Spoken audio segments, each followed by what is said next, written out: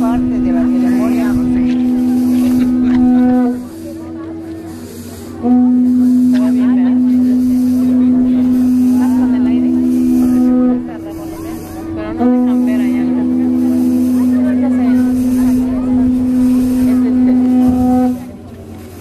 Thank you.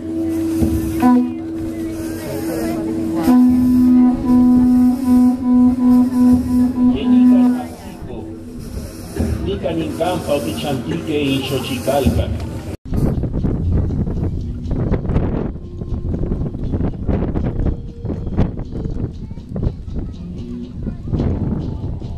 Xochicalco era custodiada por Tlaloc, el señor del agua y la agricultura.